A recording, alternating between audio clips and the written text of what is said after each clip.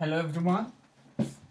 Today we want to um, compare the mean differences of five different samples. And based on these five samples, we want to talk about the actual differences of their population.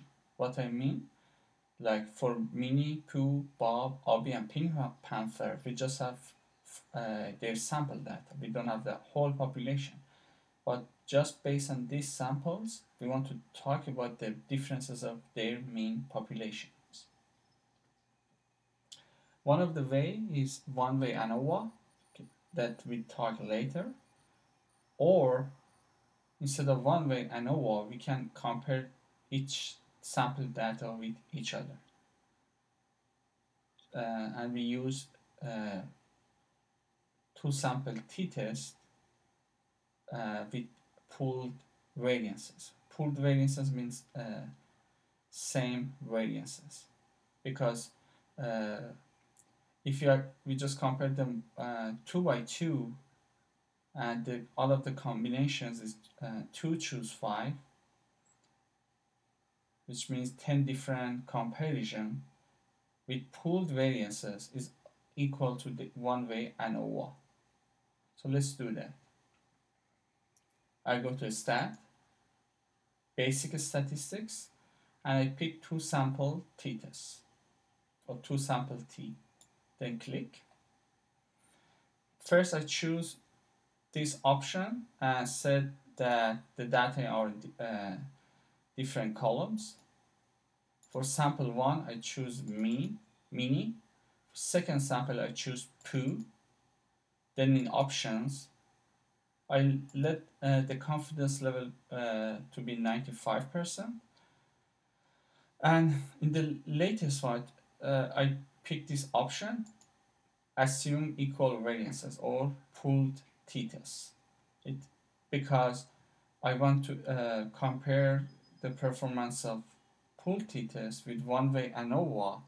And as you may know, in one-way ANOVA, we assume the variances are almost equal. Then I click OK, then OK. Let's go to the p-value. p-value is almost zero.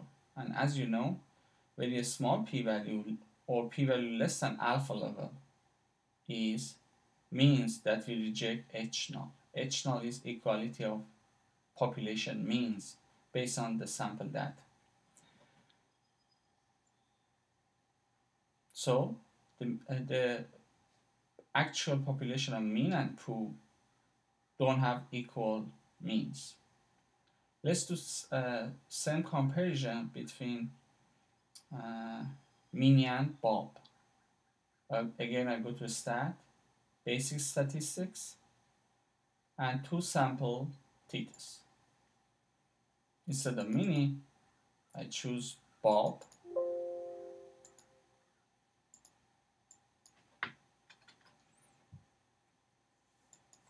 and be sure that assume equal variances is still selected. Then I click OK, then OK. Let's look at the p-value. We assume that confidence level was 95%. 1 minus confidence interval is 0.05, which is our alpha level. p-value is greater than alpha level. So we don't have enough evidence for rejecting the equality of their means. So the sample mean differences is not that much significant. As you see, for comparisons of their means, we, we can do two by two mean, sample mean comparisons, but it takes a lot of time. Uh, however, in the one way ANOVA, you can it's way more easier. And you can compare their means all of them in one test. So let's in the next video let's look at the one way ANOVA